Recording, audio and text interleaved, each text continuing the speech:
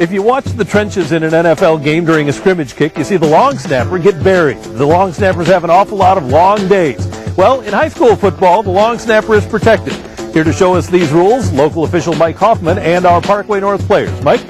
Thanks, Randy. That's right. In high school football, it's all about safety for the kids out there in the field. As you can see here, our long snapper, is in a position to snap to his punter back there. He's got his head down.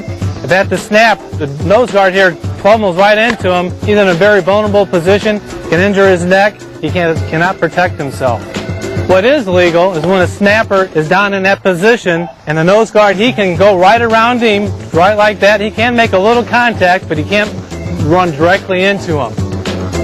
Another legal way to block that snapper is once he makes that, that snap and he raises himself up to block, then you can contact the snapper. So now he's set, he's ready to go, and the legal block may be made at that point.